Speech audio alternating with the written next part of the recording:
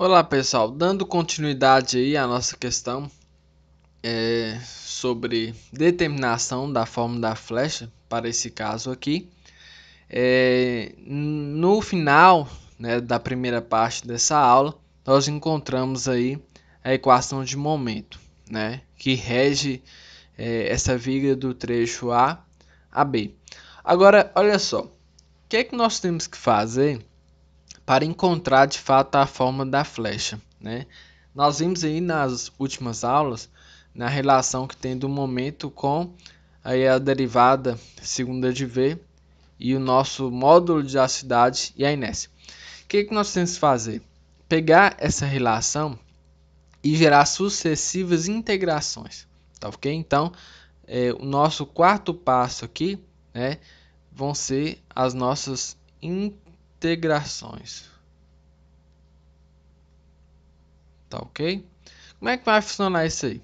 Nós temos aí, né, que o nosso EI D2V sobre dx2 é igual ao nosso momento, tá? Então nós já podemos agora fazer a troca né, da, da nossa função de momento aqui da fórmula pela função de momento que nós temos aqui de fato, né, que será o nosso px menos pl, tá ok? O que, é que nós temos que fazer agora? Fazer as integrações, tá? Eu posso fazer uma integral aqui do lado esquerdo e fazer uma integral aqui do lado direito, né? Considerando aqui que a nossa integração acontece aí em relação a x. Tá ok? Se nós fizermos essa integração, o que, que nós vamos encontrar? O EI é constante, tá? Então a gente já pode considerá-lo aqui do lado de fora.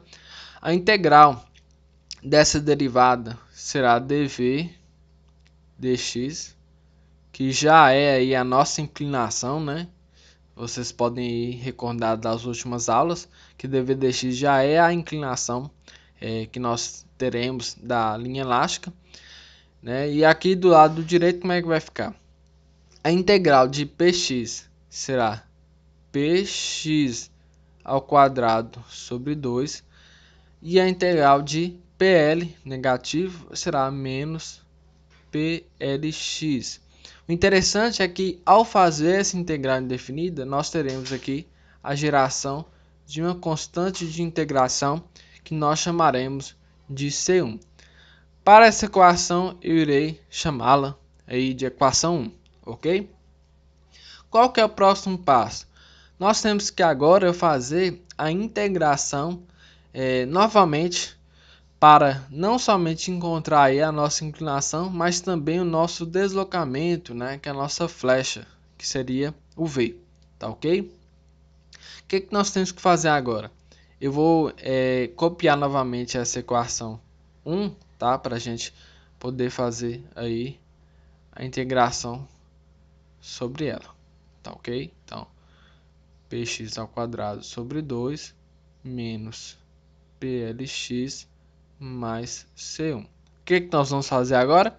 Integrar né, ambos os lados aí da nossa equação.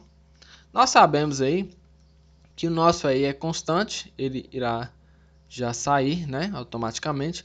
A integral dessa derivada é v, tá? Que é a nossa flecha, o nosso deslocamento. E agora, qual a integral que nós temos disso aqui, né? Será o nosso p x3 sobre 6 menos p lx ao quadrado sobre 2. C1 nós iremos integrar também, que será o nosso C1x. Mas agora, uma constante de integração que gerou-se por essa integração definida aqui, né, que nós iremos chamar de C2. A esta equação, né, nós iremos chamar aí, colocar aqui embaixo, de equação 2. Ok? O que, que nós temos que fazer agora? Nós temos que determinar quais são essas constantes de integração. E a partir disso nós conseguimos aí é, resolver de fato quem é nossa flecha e, né, e a nossa inclinação, tá ok? Nós continuaremos nessa explicação numa terceira parte dessa aula. Até logo!